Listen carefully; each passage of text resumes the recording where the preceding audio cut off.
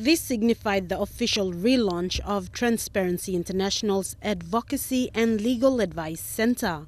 ALAC does is receive corruption complaints, so as the keynote speaker, Damaru spoke about the work of the fraud squad and the trends that they have noticed over the years.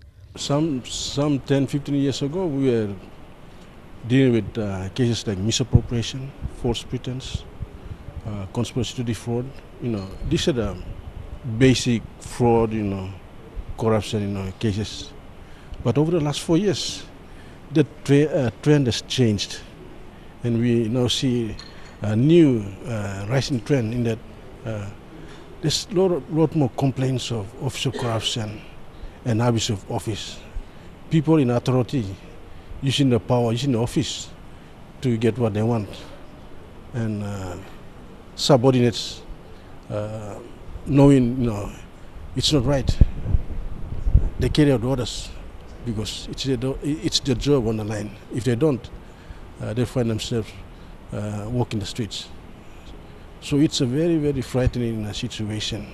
He said complainants of corruption, especially public servants, are caught in a dilemma because there is no law to protect whistleblowers. Very few people come and come and complain, and usually this is after.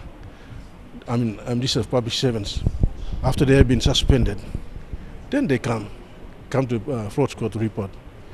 But before that, prior to that, nobody's prepared to open their mouth to say this is happening in the department because they fear. Also there to witness the launch was Mineral Resource Authority CEO Philip Samar. He is keen to work with TIPNG to ensure complaints against the mining industry are processed through an independent body.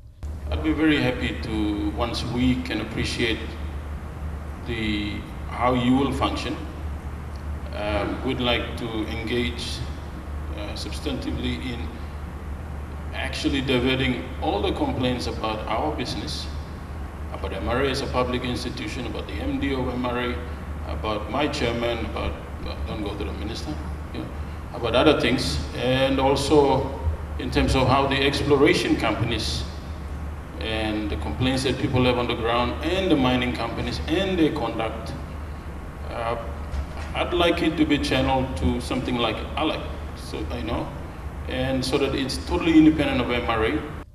While this will be something that will still require a lot more discussion, people who would like to contact the Center for any advice on how to report a corrupt act can do so using these toll-free numbers 1-800-6000 and 7601 4336.